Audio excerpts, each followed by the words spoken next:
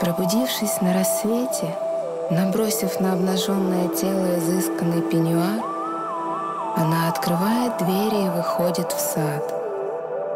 Ступая босыми ногами по зеленой траве с утренними каплями росы, она любуется восходящим солнцем, наполняясь нежностью и светом, она готовится к самому главному событию в своей жизни.